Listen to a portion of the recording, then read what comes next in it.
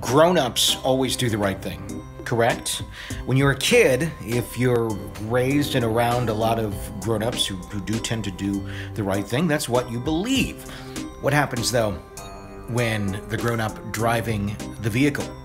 You are a passenger in hits a human being on the road and continues on down. It is a scary story it is a messed up proposition, but it happens. In this week's EPP bonus episode of Real Ghost Stories Online, we hear the story of just that. One of our listeners, when they were younger, in a vehicle, when the driver hits a human being. The woman eventually passes, but the ghost of that woman doesn't pass all that far. The vehicle is still used, the vehicle is still in the family, and so is the woman that was hit.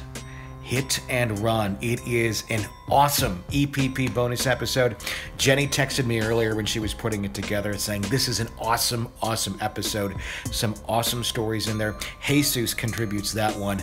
And there's another great story in this week's EPP bonus episode. You don't want to miss it. We're going into a big holiday weekend in the U.S., lots of camping going on, lots of people out there with campfires. If you want something spooky to listen to, other than Uncle Larry talking about his uh, his latest hair transplant surgery, then I would suggest downloading EPP 149 of Real Ghost Stories online. Get it at ghostpodcast.com.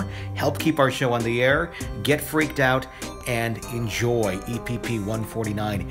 It is there for you. Ghostpodcast.com and help keep Real Ghost Stories online on the air. thanks for your support.